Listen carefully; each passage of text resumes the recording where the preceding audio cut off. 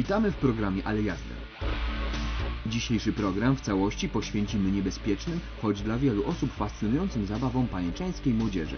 I podkreślamy, że są to rzeczy niebezpieczne i nie należy robić bez odpowiedzialnego doświadczenia i przygotowania.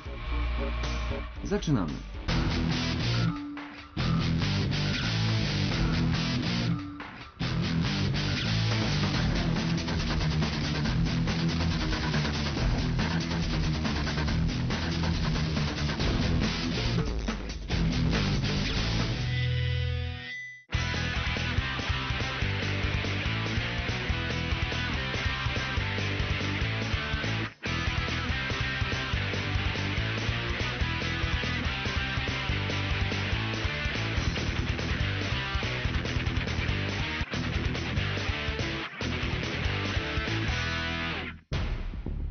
Pajęczańska młodzież już nie po raz pierwszy pokazała, że potrafi sobie zorganizować wolny czas. Niestety nie do końca spokojnymi i bezpiecznymi pomysłami.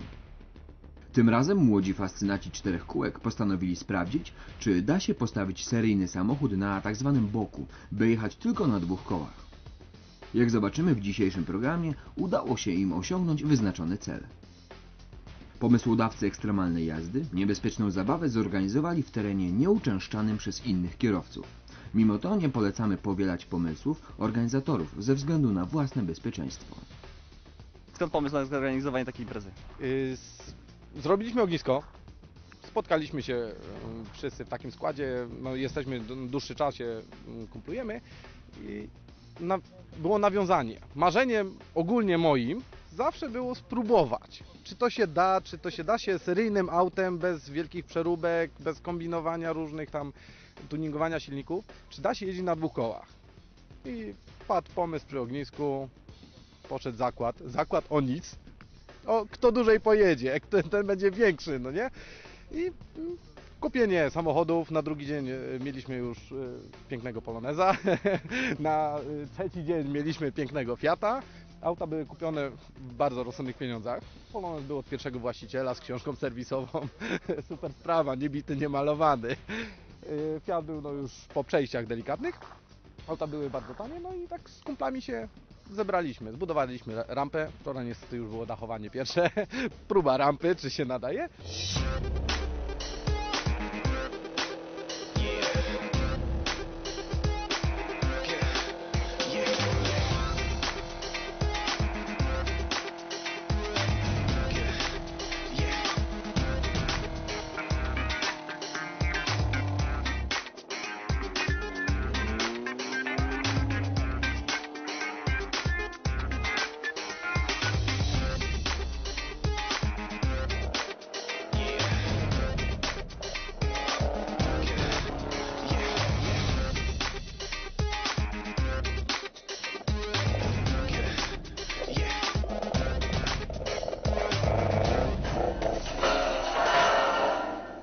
Widzimy tutaj jakieś kratki, jakieś, jakieś yy, powiedzmy no, mocowania tego samochodu w środku. Co to jest, jak długo trwało przygotowanie tego auta w ogóle? Nie baliście się, że to nie wytrzyma, czy coś takiego? Yy, wiesz co, tak, przygotowania 24 godziny, mniej więcej.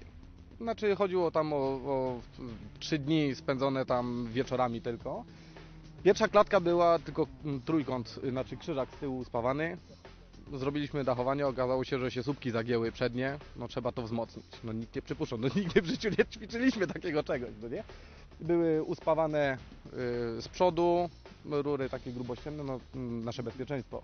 Y, pasy czteropunktowe, mm, zaplecze gaśnicze, także jest, jest wszystko super. I musi być zespawany z tyłu most, żeby nie działał mechanizm różnicowy, bo, bo to jednak no, przeszkadza. Także mamy zespawane i piękna sprawa. Więc z całego zabezpieczenia to jest najważniejsze w sumie chyba ta klatka, bo przy pierwszej próbie, tam jeszcze na warsztacie, no to rzeczywiście wzmocnienie auta jako w miejscu środkowym kabiny to praktycznie nie daje nic, bo się łamie tam, gdzie praktycznie nad kierowcą. Więc żeśmy zrobili poprawkę i wnieśliśmy jeszcze jedną bramkę w okolicach przedniej szyby i wydaje mi się, że jest teraz w miarę bezpiecznie.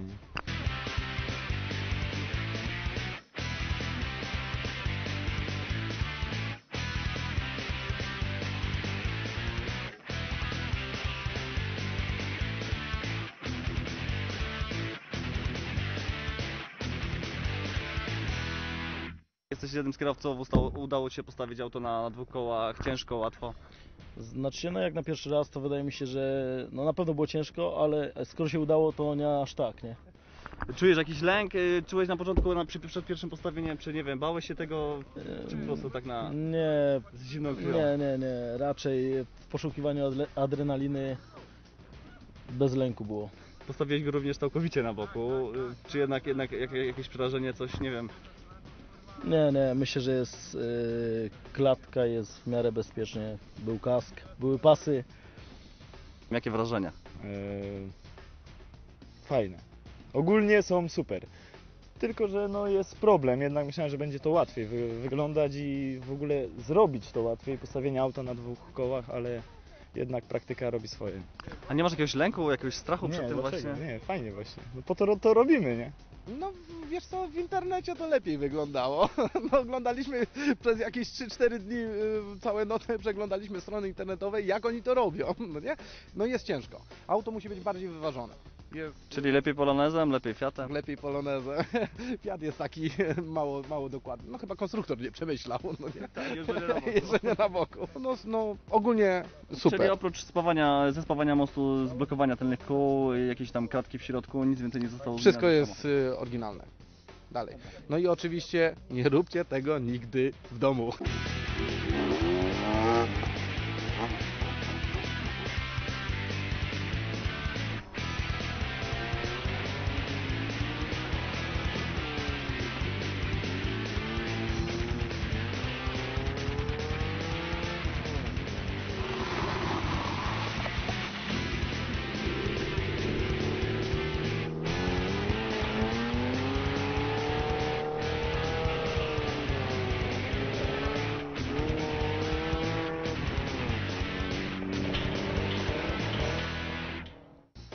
Jak mogliśmy zobaczyć, przy lekkich zmianach seryjnego samochodu da się nim jeździć na dwóch kołach.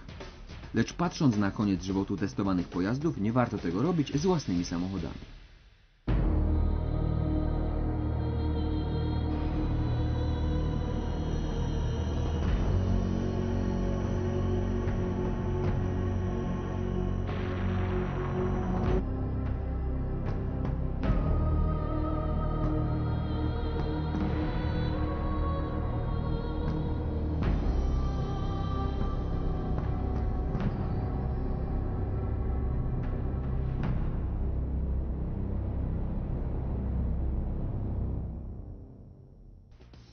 Należy również przypomnieć, że jakakolwiek inicjatywa wymaga nie tylko zakupu pojazdu i przygotowania go do takich czynów, przede wszystkim należy pamiętać o rozwadze i bezpieczeństwie. Takie zabawy mogą się skończyć źle, a nawet tragicznie, nie tylko dla pomysłodawców, ale również dla obserwatorów. Na koniec mamy więc ostrzeżenie policji dla osób, które chciałyby coś takiego zorganizować. Policjanci przestrzegają wszystkie osoby biorące udział e, w takich imprezach, e, że każda przeróbka bądź też e, każda organizowana organizacja takiej imprezy i uczestnictwo w niej będzie karane przez policjantów, ponieważ urządzanie wyścigów na naszych polskich drogach jest zabronione. Także zabronione są przeróbki dokonywane w pojazdach. Przeróbek takich najczęściej dokonują osoby młode. Zdajemy sobie z tego sprawę, docieramy do tych osób i są one karane mandatami karnymi bądź też są kierowane wnioski o ukaranie do sądu. Na dziś to wszystko. Zapraszamy jak zwykle w każdy czwartek o godzinie 19.55. Do zobaczenia.